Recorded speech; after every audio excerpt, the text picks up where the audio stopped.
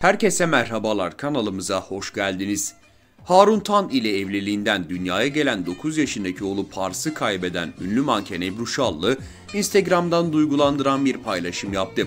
Pars ile çekilen fotoğrafını paylaşan Şallı herkesi hüzünlendirdi. Ünlü manken Ebru Şallı'nın Harun Tan ile evliliğinden dünyaya gelen ve 8 yaşında lenfoma yakalanan Pars, geçtiğimiz yıl hayata veda etti.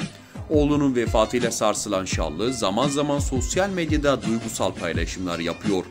Oğlu Pars özlediğini her fırsatta dile getiren Şallı, Instagram hesabından yeni bir paylaşım yaptı. Pars ile çekilen fotoğrafını paylaşan Ebru Şallı, takipçilerini de duygulandırdı. Şallı'nın duygusal paylaşımına binlerce yorum geldi. Oğlu Pars ile iki karesini paylaşan Şallı, bazı anlar ölümsüzdür, hep yaşar işte o an notunu yazdı. Sevgili izleyicilerimiz, bizleri dinlediğiniz için teşekkür ediyoruz. Bir sonraki videomuzda buluşmak üzere. Kendinize çok iyi bakın, hoşça kalın.